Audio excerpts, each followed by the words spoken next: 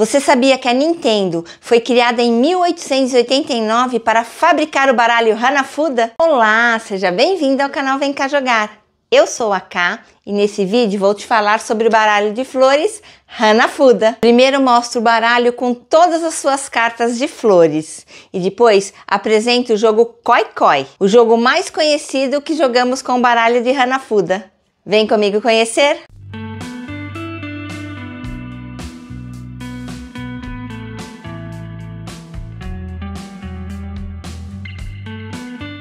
O baralho de Hanafuda vem com 48 cartas. Geralmente no verso é vermelho, preto ou dourado e são cartinhas plásticas, assim pequenininhas. As 48 cartas são divididas em 12 grupos, representando os 12 meses do ano. Cada grupo, formado por quatro cartinhas, tem uma flor. Essa aqui, por exemplo, é o mês de março com a flor de cerejeira. As cartas podem ser simples, tem apenas a flor representando ela. Elas podem ter uma fita, que são as cartas de fita. Pode ser azul, pode ser vermelha, pode ter poema ou não, ser uma fita simples. As cartas também podem ter animais, são as cartas de animais. E por último, tem as cartas brilhantes, que tem esse símbolo aqui. São poucas, apenas cinco delas. Essas são as cartas organizadas por seus meses e tipos também. Então, assim, começamos com janeiro com a flor de pinheiro. Repare que quase todos os meses as duas primeiras cartas são cartas simples. Elas valem apenas um ponto. Além de duas cartas simples, cada mês acaba tendo duas cartas especiais, com exceção de novembro e dezembro, que já vamos falar. Então, em janeiro, temos uma carta especial de fita e uma carta brilhante. Já em fevereiro temos as duas cartas simples, uma carta de fita e uma carta de animal. Cada coluna está agrupada pelo tipo de carta para ficar mais fácil de visualizar. Os meses de janeiro a junho do lado esquerdo, de julho a dezembro do lado direito. Repare no mês de novembro, ele tem apenas uma carta simples e os três tipos de cartas especiais: a da fita, a do animal e a brilhante. Já o mês de dezembro tem três cartas simples.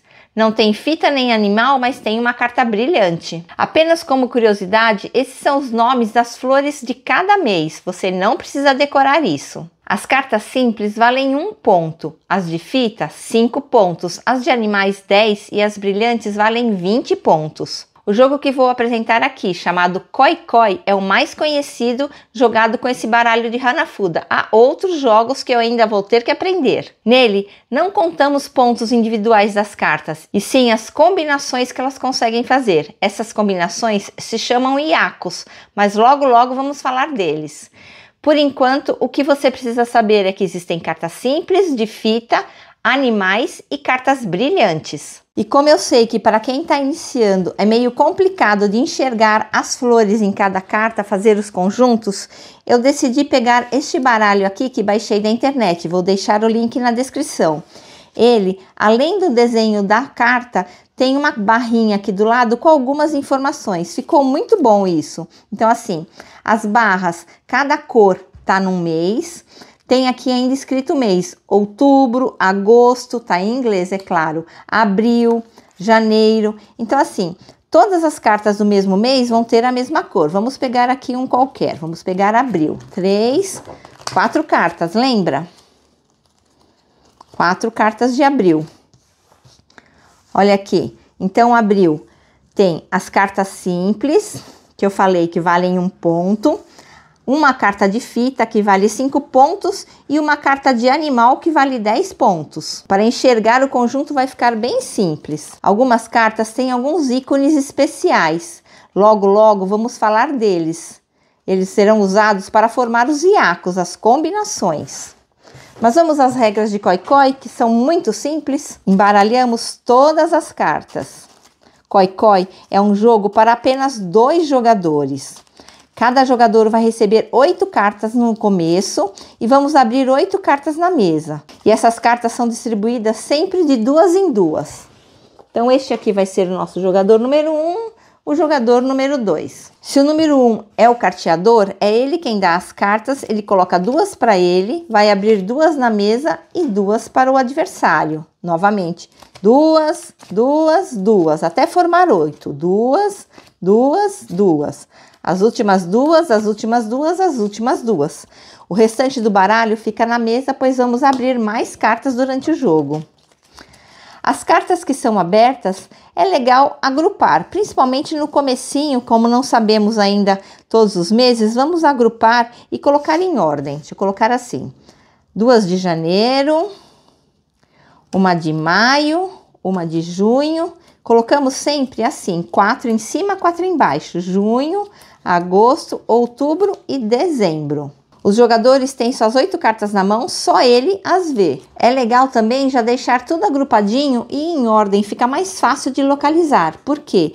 Na vez do jogador, ele deve escolher uma das cartas de sua mão e combinar com uma das cartas abertas na mesa. Então, por exemplo, esse jogador. E o legal é sempre tentar combinar as cartas de maior pontuação, pois os iacos valem mais com elas. Logo, logo falo disso. Aqui na mão do jogador tem janeiro, uma carta que vale 20 pontos, e aqui na mesa eu tenho duas cartas de janeiro.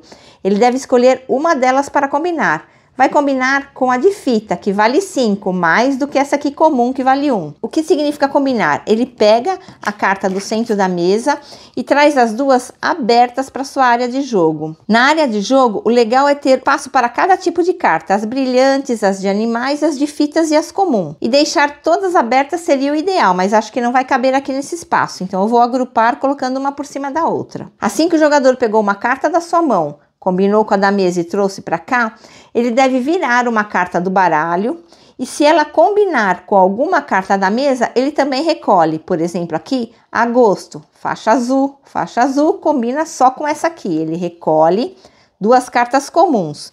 Vou criar aqui o grupinho de cartas comuns. Jogou sua carta, abriu uma do baralho, passa a vez para outro jogador, que vai fazer exatamente a mesma coisa. Esse jogador tem essas cartas aqui. O que vale mais ponto? Tem essa de março, mas não tem nenhuma de março na mesa. E ele tem essa outra brilhante aqui de agosto, não tem agosto na mesa. E ele também tem uma brilhante de novembro, 20 pontos novembro. Não tem novembro na mesa. Essa outra aqui, de 5 pontos, que é de abril, não tem abril na mesa. Então, ele vai tentar pegar alguma que tem aqui que vale pontos. A de maio, ele tem uma de maio aqui. E tem também a de junho. Ele decide pegar a de junho. Então, pega a sua carta de junho, com a carta de junho da mesa, recolhe e traz para sua área de jogo. Aqui, as cartas que valem 5, as cartas que valem 1 um, e aqui em cima eu vou colocar as de 20 e a de 10. Usou a carta da mão, compra uma carta. Fevereiro. Aqui na mesa não tem fevereiro. Como não tem, ele não tem como combinar, então ele deve simplesmente colocar a carta na mesa. E passa a vez. Vamos de novo. Esse jogador aqui vai pegar a carta de junho e vai trazer para cá. Então, conjunto das cartas de 10 pontos de animais. E a de número 1 vou colocar aqui. Em seguida, abre uma carta. Setembro. Não tem setembro na mesa, ele coloca a carta. Esse jogador vai usar sua carta de maio, a única opção que ele tem. Então, ele coloca a carta de maio e traz para cá. Carta simples, vou colocar aqui. E as cartas que valem 5 aqui. E agora ele vira uma carta. Virou outubro, tem outubro aqui. Então, ele recolhe as duas cartas. Aqui vale 1 um, e aqui, aqui vale 5. Passa a vez. Quando o jogador não tem nenhuma carta na mesa que combine, ele deve pegar uma das cartas da sua mão e descartar na mesa. Então, por exemplo, este vai descartar aqui a carta do mês de março. E em seguida, ele compra uma carta. Comprou uma de setembro. Setembro tem na mesa, ele recolhe. Que vale 1 e que vale 10.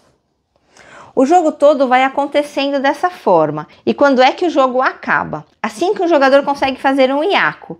Daqui a pouco eu mostro todos os iacos que existem, mas quando ele consegue fazer um iaco, ele tem duas opções. A primeira é parar. Ele fala chobo ou stop e o jogo acaba e neste momento ele já pontua. Pontua de acordo com os pontos do iaco que ele fez, da combinação especial que ele fez. Ou então, ele pode falar coi coi. Quando ele fala coi-coi, ele está dizendo: Eu sei que eu tenho um iaco, mas eu quero tentar conquistar mais iacos ainda para aumentar o meu valor. E dessa forma, se ele conseguir ganhar o jogo, os pontos dele serão multiplicados por 2. Se ele falar coi-coi de novo, pois fez outro iaco e quer continuar jogando, os pontos serão multiplicados por 3 e assim por diante. Mas o que pode acontecer? Um jogador falou coi-coi, decidiu não bater, e o outro jogador consegue fazer um iaco e fala shobu ou stop. Esse jogador vai pontuar e aquele que tinha feito um iaco, mas decidiu falar coi-coi, não consegue pontuar. É como se ele tivesse perdido seu iaco. Então, é um jogo de arriscar a sorte. Falo coi-coi e continuo para ganhar mais pontos ou falo shobu na hora que tem um iaco para acabar com aquela rodada e ganhar meus pontos, mesmo que sejam poucos. Uma outra forma de acabar o jogo é um empate, quando as, todas as cartas dos jogadores acabam e ninguém fez o iaco, ou então alguém fez iaco, falou coi-coi e continuou jogando.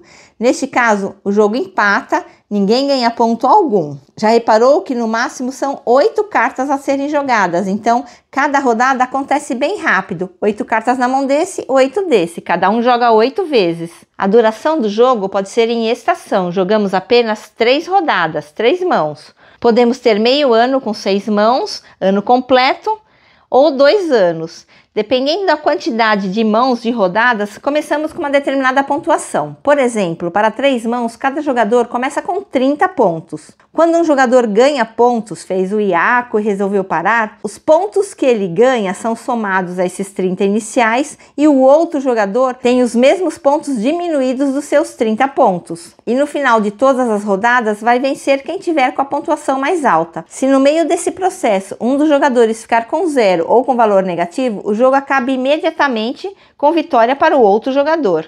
Vamos simular aqui um iaco. Esse jogador vai pegar a sua carta de setembro, combinou aqui setembro com setembro. Ele traz para cá número 1 e para cá número 5 e abre outra carta. Abriu outubro, outubro não tem na mesa, ele deixa. O que, que aconteceu neste momento? Com essas cartas aqui de fita, ele conseguiu pegar três cartas de fita azul elas formam uma combinação. Inclusive aqui, ó, tem três símbolos iguais com esse pergaminho. Então, ele fez um iaco. O número 2 fez um iaco. Neste momento, ou ele para e fala stop ou shobu, ou ele fala coi-coi para continuar. Ele não quer continuar, ele quer parar o jogo. Então ele fala shobu e o que, que ele recebe de pontuação? Esse ACO aqui das fitas azuis chama AOTAN e vai lhe dar 6 pontos. Então, neste caso, de 30 ele vai para 36 e esse aqui de 30 vai para 24. A rodada termina, as cartas são todas embaralhadas e redistribuídas e vai começar sempre o jogador que ganhou na rodada anterior. Além do arquivo das cartas, que vou deixar para impressão, na verdade vou deixar o link de quem criou essas cartinhas, vou deixar também um link para este PDF. Tem uma junção aqui de todos os iacos e mais algumas informações. Os valores desses iacos são exatamente os mesmos mostrados lá no Board Game Arena, ou seja, você pode jogar Koi Koi online lá no BGA. Além dos iacos, temos outras informações sobre pontuação e também o nome das flores relacionadas aos meses. Eu agrupei aqui todas as cartas por seus valores. Vamos começar falando dos iacos formados pelas cartas brilhantes. Se o jogador conseguir coletar as cinco cartas brilhantes, ele faz um Gokô, que vale 10 pontos. Se ele coletar quatro cartas sem o homem do guarda-chuva. Repare aqui que eu tenho uma chuvinha, um ícone de chuva. Então, se eu coletar quatro cartas brilhantes sem o guarda-chuva, isso é um chicô que vale oito pontos. Mas se por acaso eu tiver quatro cartas brilhantes, três quaisquer, mais o homem do guarda-chuva, eu vou ter um Ami Chicô, que vale sete pontos. E se eu tiver três cartas brilhantes, qualquer, pode ser essa aqui, por exemplo, Três cartas brilhantes sem a chuva é um Sanko que vale seis pontos. Vou falar agora desses dois símbolos aqui da estrelinha.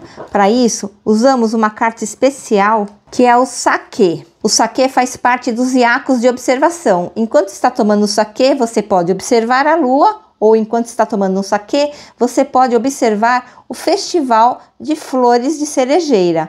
Então, esta carta combinada com a lua, ou esta carta combinada com essas flores aqui, chamamos de Hanami Itsukimi Zake. E cada uma dessas combinações vale 5 pontos. Se o jogador conseguir coletar essas três cartas, ele faz dois iacos, um aqui valendo 5 e outro aqui valendo 5 também. Se por acaso eu tiver essa carta aqui, da chuva, junto com o iaco de observação, a chuva atrapalha a observação, então ela anula esses iacos. Então tome cuidado ao pegar a carta de chuva se você quiser montar iacos de observação.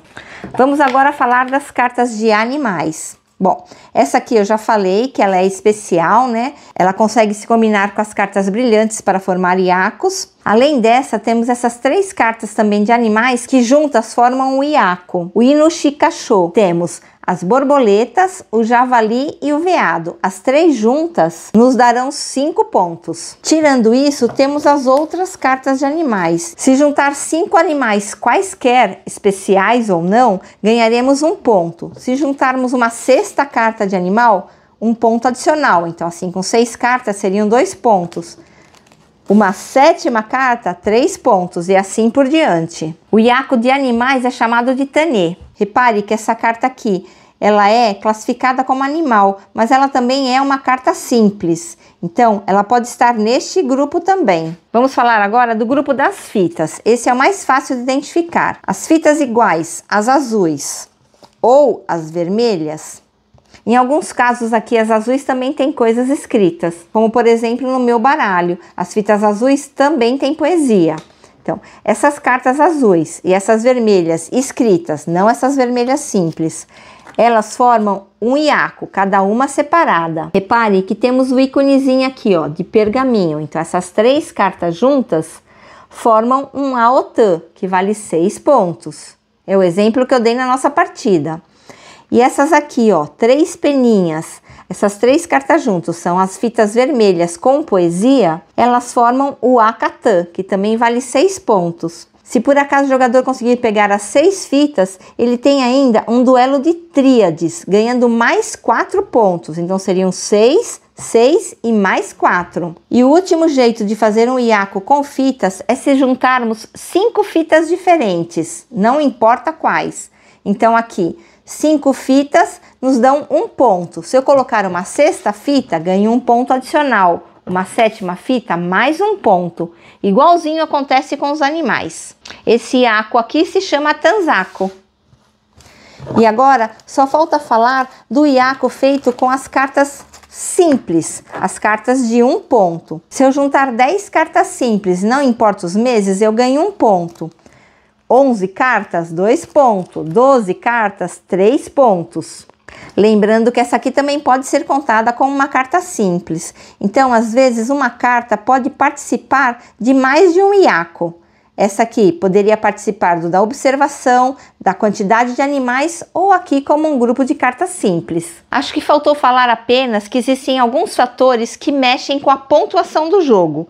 Por exemplo, aqui, quando abrimos as oito cartas, ainda não começamos a partida, vamos verificar quantas cartas brilhantes foram abertas. Aqui neste caso, apenas uma. Cada carta brilhante vai aumentar em um o valor da partida. Toda partida vale um, multiplicado pelos iacos do jogador. Quando tem uma carta brilhante, somamos mais um. Então aqui, os pontos de quem ganhou seriam multiplicados por dois. Se tivéssemos, por exemplo, duas cartas brilhantes, multiplicaríamos por 3. Três cartas brilhantes por 4 e assim por diante. Uma outra coisa também é, se o jogador pega as quatro cartas do mesmo mês, ele já forma um iaco ele mostra essas cartas. Claro que se eu tô com as quatro cartas, eu não vou conseguir pegar nada do centro da mesa. Então ele já abre seu iaco e logo de cara já ganha seis pontos. Neste momento, inclusive, o jogador pode falar coi-coi e continuar jogando ou falar shobu e acabar a partida. Ele ganharia aqui 6 pontos, mas aqui ainda ele ganharia multiplicado por 3, porque eu tenho duas cartas brilhantes na mesa. Então, 6 vezes 3, 18 pontos logo de cara. E dependendo ainda de qual rodada estamos fazendo, tivemos, por exemplo, um jogo de 12 rodadas, cada rodada vai estar referente a um mês. Aqui, abril, o mês 4. Se essa fosse a quarta rodada, ele ainda ganharia mais 4 pontos. E uma outra situação que pode acontecer é se o jogador conseguir pegar quatro pares de meses diferentes. Então, assim, ó, as oito cartas dele são quatro pares diferentes, formando um iaco e vale seis pontos. E aqui ele revela, já ganha seis pontos e o jogo acaba. É claro que ainda temos o multiplicador das cartas brilhantes. E esse foi Koi. Ele parece meio complicado no começo, mas depois da primeira rodada você já consegue pelo menos identificar as regras e sair buscando as cartas de maior pontuação. Essa iconografia que foi colocada nessas cartas, colocando as cores dos meses, seus nomes, os valores das cartas e esses ícones indicando quais são os iacos, facilita muito para quem está iniciando. Gostou? Comenta, curte e compartilha! Até a próxima, divirta-se e tchau!